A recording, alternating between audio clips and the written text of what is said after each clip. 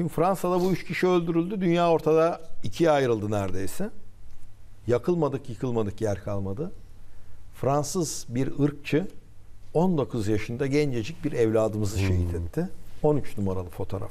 Evet. Trabzonlu. Trabzonlu 13 numaralı fotoğrafı getirelim. Konu terör örgütü olmayınca Arkasından yanaşıyor. konu terör örgütü olmayınca bu şekilde uğurlandı. Bu kadar.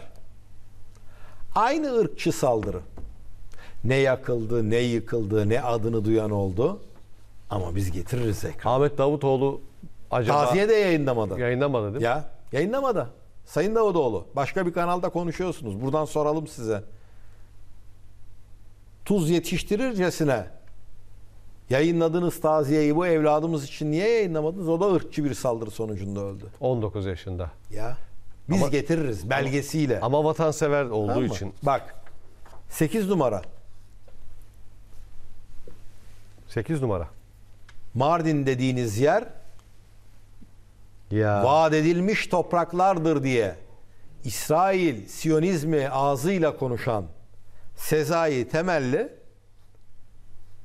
Paris yanarken şöyle bir sosyal medya pa- mesajı pa- paylaştı. Paris yanıyor. İngilizce'de güzel bir tabir vardır. Burn baby burn. Yan bebeğim yan.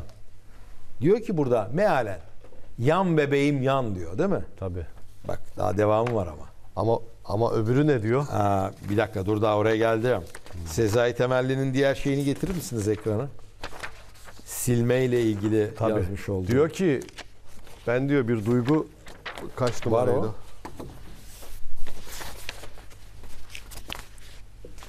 Duygu patlaması yaşadım diyor. Evet 5 numara. 5. Şimdi bu mesajı attıktan sonra şunu atıyor. Paris tweetimi sildim. Duygular bazen istemeden de olsa başka gerilimlere neden olabiliyor. Katliamdan dolayı çok üzgünüm. Demokratik protesto hakkını savunmaya devam ediyorum. Gerçekte olan şu. Avrupa'daki şiddeti övecek şekilde bir mesaj paylaşırsan sana o tükürdüğünü yalatırlar Sezai Temelli. Evet.